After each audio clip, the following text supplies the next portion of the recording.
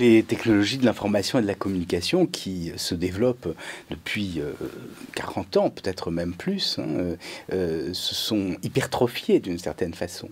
Leur impact sur la vie de tous les jours est de plus en plus important.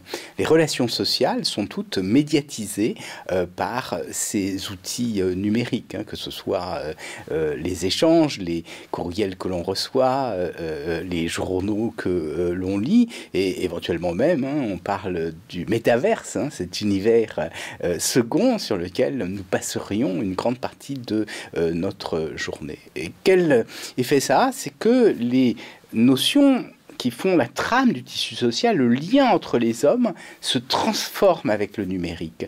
Prenons deux exemples. L'amitié. C'est une notion extrêmement ancienne hein, qui vient euh, des Grecs.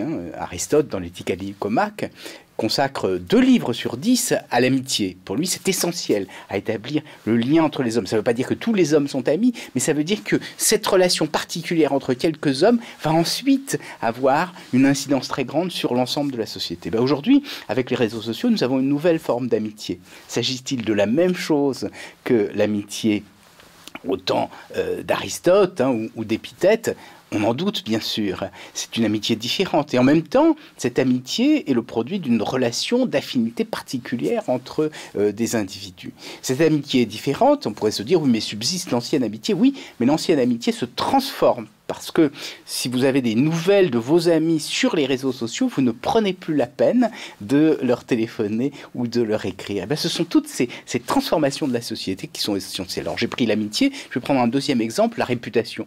On se souvient tous de la chanson de Georges Brassens, La mauvaise réputation au village, hein, qui faisait qu'une personne, parce qu'elle ne faisait pas comme les autres, euh, pouvait être suspectée de tout un tas de mots. Ben, Aujourd'hui, on est capable, avec les algorithmes, et c'est ce que euh, font euh, les Chinois, d'agréger agréger toutes les petites infractions que vous commettez, au contraire les bonnes actions, la conformité de votre comportement aux règles de la société et établir un score euh, de réputation. Alors, est-ce la même chose, ce score de la réputation, que la mauvaise réputation de Brassens? Je vous laisse bien sûr la réponse, mais en tout cas, je crois qu'une réflexion sur cette transformation de ces notions qui font le ciment social me semble essentielle pour savoir comment se comporter dans le monde qui vient. Et c'est ce que j'ai essayé de faire dans ce livre. Est-ce que avec euh, les flux de données hein, dans lesquels nous sommes un peu perdus, euh, nous perdons une forme de liberté. Alors a priori non, bien sûr. Hein, c'est pour ça d'ailleurs qu'on parle de, servitude virtuelle, parce qu'il n'y a pas de contrainte matérielle qui s'impose à vous. Hein. vous avez l'impression de pouvoir choisir. Mais ce choix, vous le faites de façon de moins en moins éclairée, parce que vos facultés cognitives sont perdues. Vous êtes noyé dans l'immensité de l'influx d'informations.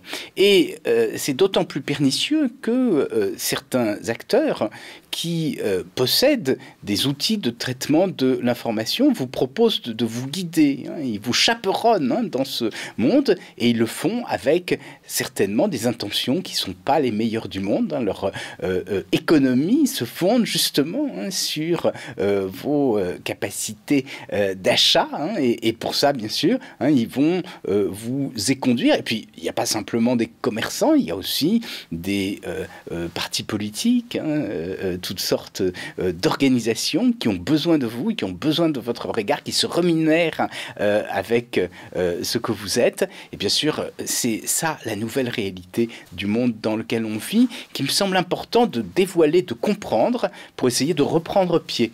Hein, c'est-à-dire de pas simplement hein, se faire abuser, mais de décider par nous-mêmes. La liberté, c'est ça. La liberté, c'est non pas de faire ce qu'on veut quand on veut, mais euh, la liberté, c'est de pouvoir définir ses propres règles. Pour définir ses propres règles de comportement, eh il faut comprendre euh, la réalité qui nous entoure. Depuis quelques années, 4-5 euh, ans, conscient de la transformation du monde qu'opère le numérique, beaucoup ont pensé qu'il fallait réglementer. Hein, on, parle d'encadrer l'intelligence artificielle, euh, d'imposer des normes. Et pour cela, euh, des comités euh, de tous ordres hein, se sont réunis hein, qui se prétendent d'éthique. Alors d'abord, est-ce qu'il peut y avoir un, comité d'éthique C'est une question ouverte. Mais surtout, lorsqu'on regarde l'activité de ces comités, ils ont produit des rapports avec un certain nombre de réglementation, hein, de normes qu'ils essayent d'imposer.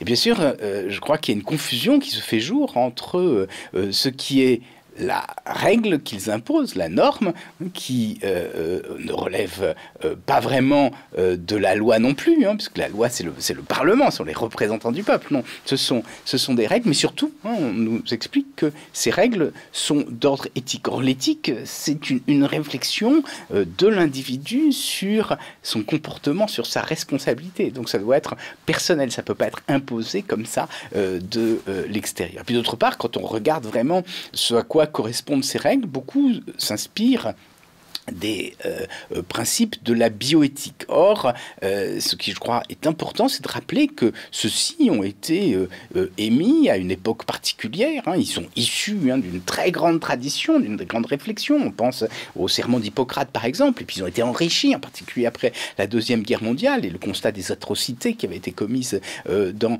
les camps nazis. Mais c'est dans un contexte particulier, celui du sien et du soin, pardon, et du rapport particulier qui existe entre le médecin et euh, le euh, patient. Or, dans le cas du numérique, nous sommes dans un contexte extrêmement différent et donc les concepts qui ont été introduits euh, par les spécialistes qui ont conçu l'éthique de la bioéthique ne sont plus vraiment pertinents. Alors, ces concepts, hein, ils sont au nombre de trois. Hein. c'est l'autonomie de la personne, la bienfaisance et la justice. Alors, si on prend l'autonomie de la personne, ça veut dire que lorsque on subit un euh, traitement, lorsque euh, on est impliqué dans une expérimentation, il faut que l'on puisse décider et il faut être éclairé. C'est ce qu'on appelle hein, le euh, consentement éclairé hein, de la personne.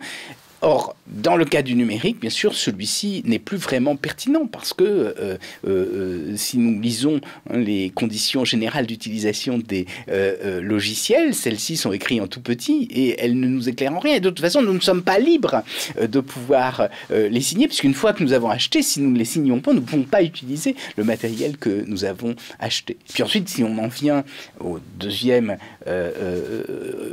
prérequis, hein, deuxième principe, hein, qui est celui de de la bienfaisance. Bien sûr, hein, il faut qu'un traitement puisse être bienfaisant et que les euh, effets indésirables possibles soient inférieurs à, aux bénéfices qu'en tire chaque patient. on ne peut pas, hein, sous prétexte qu'on va expérimenter un traitement sur un patient pour le bien des autres, euh, le faire. Eh ben, ça, euh, dans le cas du numérique, n'a pas grand sens, hein, parce que on n'est pas capable de savoir qu'est-ce qui est bienfaisant.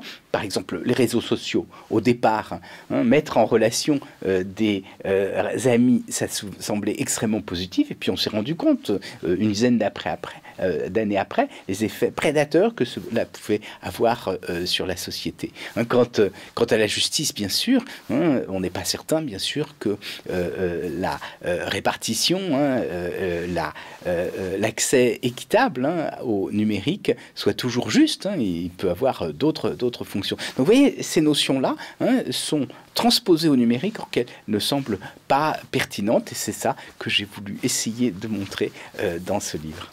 Je voudrais euh, évoquer le titre de cet ouvrage, Servitude virtuelle, qui bien sûr fait écho à la servitude volontaire, au discours de la servitude volontaire d'Étienne de la, de la Boétie. Alors euh, pourquoi euh, servitude virtuelle? Parce que vous vous souvenez, hein, chez Étienne de la Boétie, hein, nous avons l'idée que les cachots, les chaînes, hein, tous ces outils vraiment matériels qui nous tenaient en servitude, Étienne de la Boétie, tout cela ne vaut rien parce que un peuple qui serait mu par une volonté serait capable de s'affranchir euh, de, ces, de ces chaînes. Et ce qui me semble intéressant, c'est de, en écho bien sûr à cela, de dire qu'aujourd'hui, oui, nous sommes tenus en servitude. Cette servitude, elle n'est pas matérielle, elle est virtuelle. C'est le premier aspect.